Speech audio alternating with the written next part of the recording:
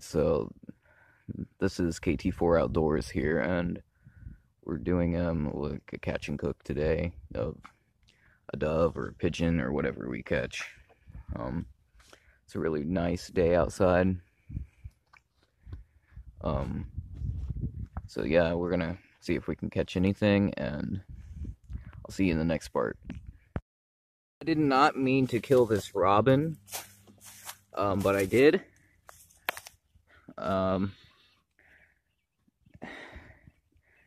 but we don't let things go to waste, and considering this is my property and everything, I'm not, like, you know, I don't think I'm gonna get in too much trouble. Um, there's the bullet where it entered everything, I think. Not gonna get in too much trouble, I don't think. But yeah, I did not mean to kill this, but we're not gonna let it go to waste because that's not what we do. So yeah. Okay, so now we got the robin in here. It is uh, wrapped in bacon.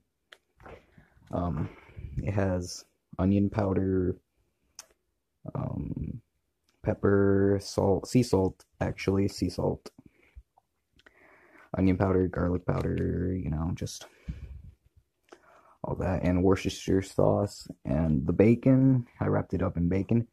The bacon is smothered with um, barbecue sauce.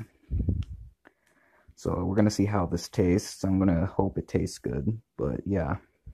So now we got the bird on the grill. Um, it's wrapped in bacon and everything, as I told you. A little bit windy, but yeah. We're gonna see how it tastes.